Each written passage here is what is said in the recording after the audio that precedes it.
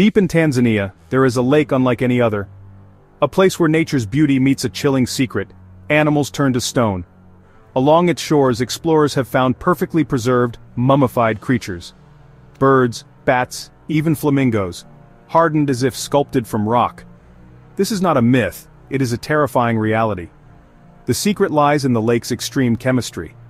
Fed by mineral-rich hot springs from nearby volcanoes, Lake Natron is incredibly alkaline, with a pH similar to ammonia.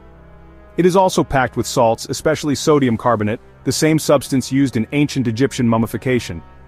When animals unfortunately perish in or near its caustic waters, their bodies absorb these minerals. As they dry out, the salts calcify their remains, literally preserving them into eerie stone-like figures. It is a stark reminder of Earth's powerful and sometimes terrifying forces. A place of beauty and death. Have you ever seen a natural phenomenon this bizarre? Share your thoughts below, and subscribe for more amazing facts about our planet.